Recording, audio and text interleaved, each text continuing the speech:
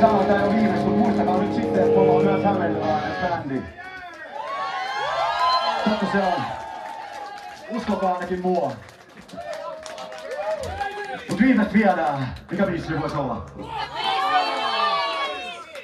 You wanna Joo!